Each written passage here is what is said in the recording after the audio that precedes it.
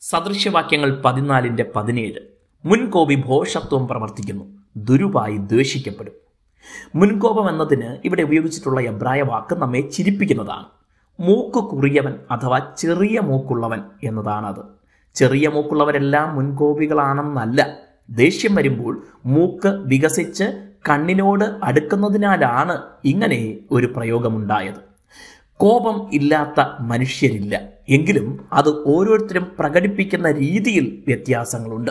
ആരോടും ദേഷ്യപ്പെടുന്ന സ്വഭാവമുള്ളവരും നിയമപാലകർ അധികാരസ്ഥർ ന്യായാധിപന്മാർ തുടങ്ങിയവരുടെ മുമ്പിൽ സൗമ്യരും സാധുക്കളുമായി നിൽക്കുന്നത് കാണാം. വേണമെങ്കിൽ കോപത്തെ നിയന്ത്രിച്ച് ശാന്തതയോടെ പെരുമാറാൻ കഴിയുമെന്നാണ് അത് കാണിക്കുന്നത്. ഇവിടെ പറഞ്ഞിരിക്കുന്നത് കോപം തെറ്റാണെന്നോ കോപിക്കുന്നവൻ ഭോഷനാണെന്നോ അല്ല. മുൻകോപി ഭോഷത്വം പ്രവർത്തിക്കുന്നു എന്നാണ്.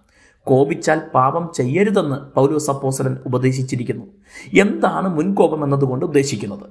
കാര്യമൊന്നും മനസ്സിലാക്കാൻ ശ്രമിക്കാതെ തന്റെ സ്ഥാനം ആയിരിക്കുന്ന സ്ഥലം ചുറ്റുമുള്ളവർ ആരൊക്കെ എന്നൊന്നും ചിന്തിക്കാതെ നിസ്സാര കാര്യങ്ങൾക്ക് പോലും എപ്പോഴും വേഗത്തിൽ കോപിക്കുന്നവരെയാണ് ഈ വാക്യം അർത്ഥമാക്കുന്നത്. ഇത്തരക്കാർ തങ്ങളുടെ സ്വന്തം ബഹുമാനം നഷ്ടമാക്കും കുടുംബത്തിൽ അശാന്തി പടർത്തും. സമൂഹത്തിൽ ഉത്തരവാദിത്തം ഏൽപ്പിക്കാൻ കൊള്ളാത്തവരെന്ന് വിലയിരുത്തപ്പെടും. ആകയാൽ മുൻകോപമുണ്ടെങ്കിൽ അതിനെ സ്ഥിര പരിശ്രമത്തിലൂടെ ദൈവത്തോടുള്ള പ്രാർത്ഥനാ ബന്ധത്തിലൂടെ നിയന്ത്രിക്കാൻ ശീലിക്കണം.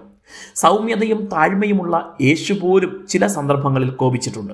ദൈവാലയം കച്ചവടോപാധിയാക്കിയവർക്ക് നേരെ കപടഭക്തിക്കാർക്ക് നേരെ ചെറിയവരെയും അജ്ഞരെയും ചൂഷണം ചെയ്യുന്നവർക്ക് നേരെ അത്ഭുതങ്ങൾ കണ്ടിട്ടും വിശ്വസിക്കാത്തവർക്ക് നേരെ ഒക്കെ അവിടുന്ന് കോപിച്ചിട്ടുള്ളത് കാണാം. എന്നാൽ ഇവയെല്ലാം കോപിച്ച് അഭിസംബോധന ചെയ്യേണ്ട കാര്യങ്ങൾ തന്നെയാണ് അന്നും ഇന്നും.